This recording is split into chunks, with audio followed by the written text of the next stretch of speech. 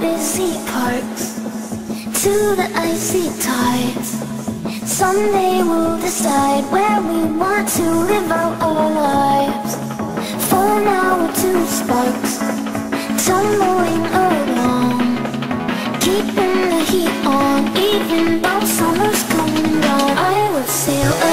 what you say